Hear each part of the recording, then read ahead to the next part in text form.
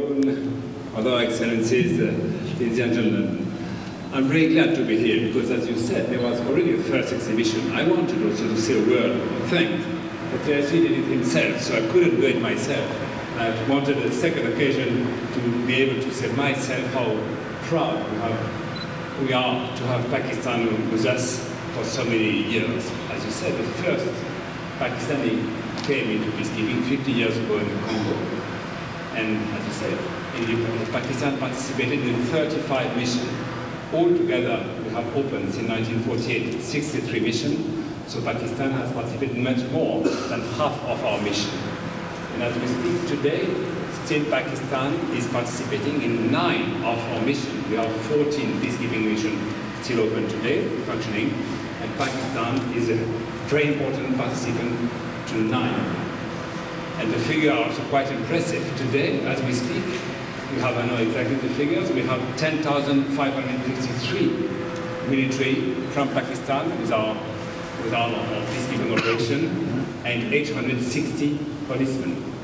Uh, so that's quite, quite a number, and for many years, Pakistan has been, if not the, most, most of the time, first, if not the time, not uh, sometimes second, depending on the race rotation, but always a top contributor for many years now, and we're extremely grateful for that.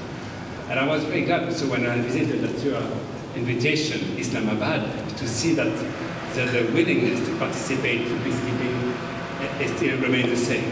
And we are extremely appreciative that Pakistan, despite uh, uh, internal challenges, is still very keen to participate in peacekeeping. And I was pleased to meet when I met the, your soldier when I went to the uh, force headquarters in, in Islamabad to see that participating in peacekeeping is still a sign of pride for, for the Pakistani soldier, and I would say with a sign of pride for the UN to Pakistani soldiers so well trained, well equipped, and well disciplined in our peacekeeping operation. And I always remember the, the Pakistani soldier I meet everywhere I go, and especially the one who are in Bukavu, in, in, South, in South Congo. Uh, they have been there for many years, and I, I can't tell how, how they are appreciated by the population.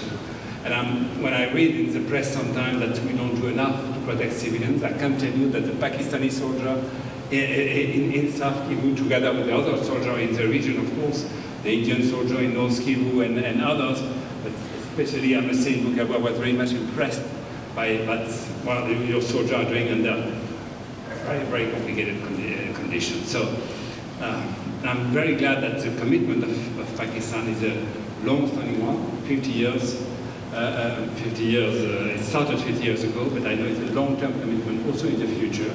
We all know that uh, requests for, for peacekeepers will continue to grow. We are today, as we may know, 120,000 peacekeepers all over the world, 84,000 military, 16,000 policemen, and 20,000 civilians.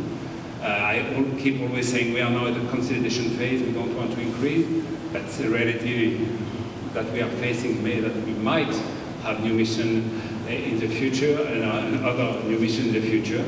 And I'm very glad that we can count on the extreme professionalism and dedication from the Pakistani soldier and policemen and uh, troops and officers. We have we employ lots of your officers both in the military and in the police.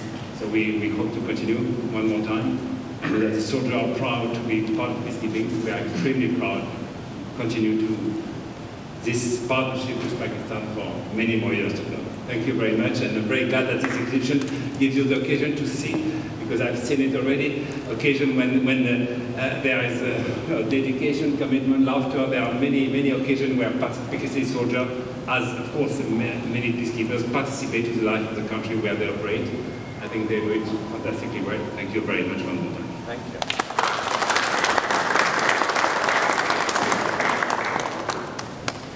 Excellencies, ladies and gentlemen, now I will request you to view the exhibition and to enjoy some Pakistani dishes, specially prepared for